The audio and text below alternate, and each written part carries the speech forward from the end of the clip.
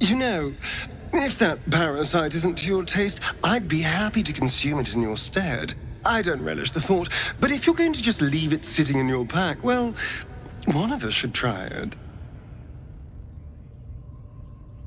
Oh, I have my reservations, no question. First of all, it looks disgusting. Second, there's a non zero chance that it'll turn me into a purple glistening monster. But if it doesn't, who knows what kind of power we could unlock? And power is always worth a little risk. Excellent. I'll have a rummage around and help myself in my own good time. Thank you.